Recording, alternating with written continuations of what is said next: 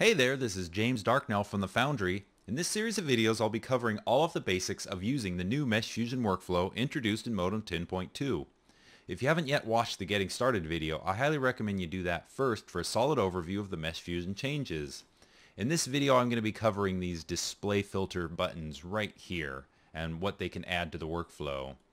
So they kind of can help you to troubleshoot a model and they can also help you to isolate certain sections of it so you can focus on it once you've got a complex model. So what the first button does, I'm going to select a primary here from my Mesh Fusion object on this head.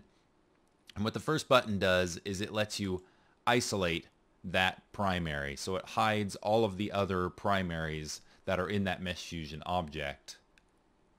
What the second button does is it selects all of the associated relationship trims on that one object. So you can see just the trims on that object. And then what the third button does is it returns everything to its normal state. So if you click that, it'll take a second and it returns all of your objects.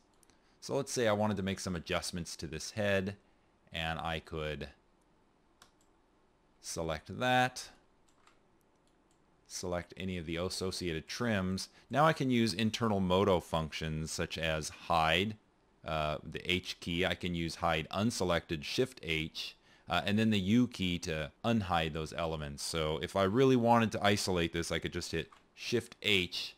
Now I'm only seeing these elements that I want to work on.